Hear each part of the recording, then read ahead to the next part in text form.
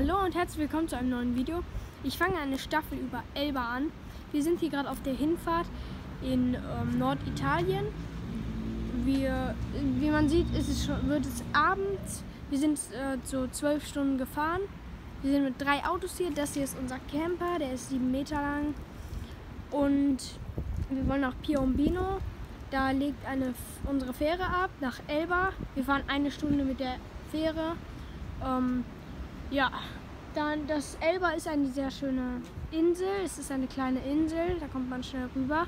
Aber sie ist wirklich sehr schön und ich werde auch weitere Videos, natürlich eine Staffel über Elba machen.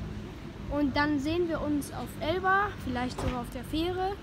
Und dann würde ich sagen, bis dann.